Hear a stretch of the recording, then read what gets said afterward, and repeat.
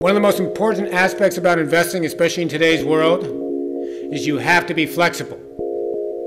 Now, it's a great term that people like to utilize, but unless you have the indicators that give you an idea of what it is you need to do and when you need to do it, it's really just talk. We truly are incredibly flexible in regards to the way we allocate our clients' portfolios. That is a true tactical approach.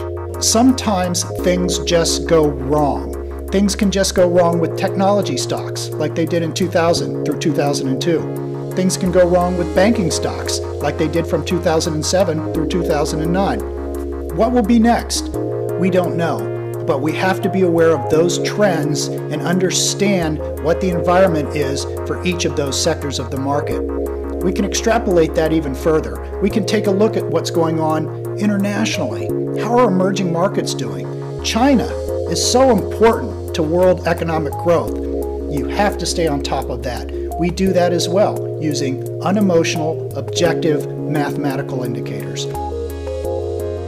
You need to rely on objective indicators. We can all listen to CNBC in the morning and hear about the economic statistic du jour. But how do you actually relate that economic statistic to history? We do it with mathematics and statistical probability. A tactical approach is not a buy hold strategy. It does not rebound to a fixed benchmark. It has the latitude and flexibility to go where the economic evidence leads it. We can literally be over 90% in the market, we could be 90% out of the market. We understand when it's a good time to make money and when it's a good time to take risk off the table. We make decisions about your portfolios every single day. And perhaps most importantly, we use history as our guide. We need to understand what happened before so that we can understand what's going to happen next.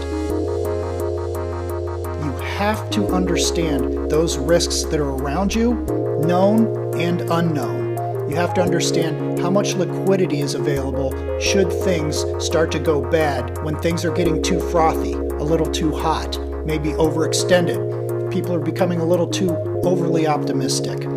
Being risk averse means keeping your profits, keeping your money in your pockets. Siegel's paradox is something that most investors aren't aware of. But if your stock portfolio goes down by 10%, it only needs to grow by 11% to get back to even. If your stock portfolio goes down 50%, your portfolio has to grow 100% to get back to even. Most investors just don't have time to recover from a 30, 40, or 50% decline in their portfolios. They must be avoided at all costs. If you take a look at the math behind declines, avoiding declines is the number one way to make money over time. When you retire, you might be the luckiest person in the world, and the next year, the markets go up by 30%. Or you might have a rougher time. You retire and the markets go down by 30%. How do you know which way the market's going to go? What you have to do is identify risk. How much risk is in the market? The more risk, the less exposure you want to have to equities. And there's a way to quantitatively interpret what's going on around you. Especially when you take into account the past 13 years when we've had two devastating declines.